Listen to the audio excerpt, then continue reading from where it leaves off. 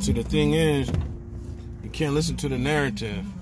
If you listen to me talk about boxing, I'm going to look at it in a non biased, you know, uh, light. So, if it sounds like, hey, hey, he liked that fighter. He liked that fighter. He going for that fighter because I mentioned his great attributes or their great skill set or just their certain skill set, don't mean I mean they're gonna win the fight.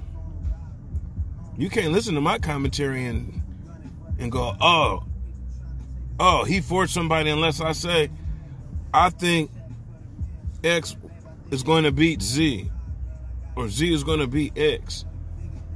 You just got to listen to my commentary and de- and decipher uh, what applies to your frame of thought that uh, you can pick from my um, IQ or uh, statement as far as fighting is concerned, or boxing, or martial arts is concerned. You can't listen to me and say, oh, oh, oh, Spence is the most accurate puncher I've seen in a long time. You can't listen to me and say, damn, uh, Crawford was developed. And then say, I say, and then, and then take that and run with that like, oh, da da da da da. I'm a boxing analyst, a boxing expert. So if I'm giving my view, it's just my view and what I see attributes or non attributes of a fighter.